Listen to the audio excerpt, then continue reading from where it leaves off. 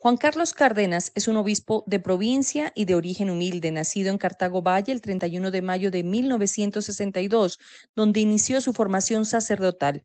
Es un hombre medianamente joven para este tipo de cargos, tiene 58 años y es un gran conocedor de la realidad de los territorios colombianos. Es un cura de pueblos y mayores credenciales, es en términos eclesiásticos un pastor cercano a sus abejas. Es en general ese tipo de sacerdote sin vanidades que reclama el Papa, quien lo acaba de nombrar como sucesor de Monseñor Enrique Prado Bolaños.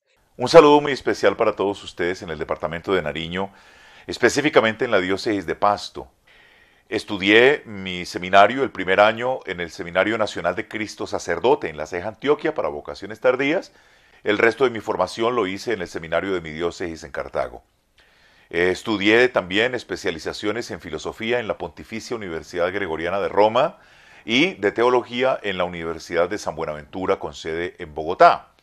He trabajado como párroco, como vicario parroquial, delegado de muchas pastorales, he sido formador del Seminario Menor y del Seminario Mayor en mi diócesis de Cartago y desde el 2010 fui nombrado subdirector del secretario, Secretariado Nacional de Pastoral Social Caritas Colombiana eh, en la Conferencia Episcopal de Colombia. En el 2014, secretario adjunto en la Conferencia Episcopal, hasta el 2015 que fui nombrado obispo auxiliar de Cali.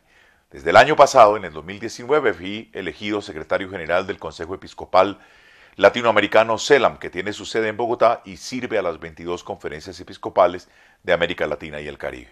Por gracia de Dios y por bondad del Santo Padre, el Papa Francisco, he sido nombrado desde el primero de octubre de este año como obispo de Pasto.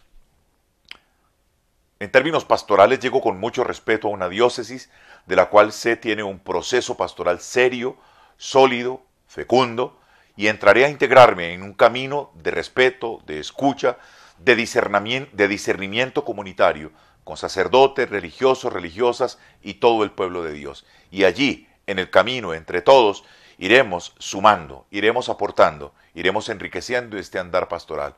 En ese contexto, la designación de Cárdenas por encima de otros candidatos con mucha mayor edad representa un giro hacia la línea francisquista, como se le llama a la corriente que sigue con más apego la visión del Papa. Para muchos es considerado como un hombre capaz de construir puentes de comunión y entendimiento, un hombre muy activo también en el campo social, que tiene gran sensibilidad por los pobres y excluidos.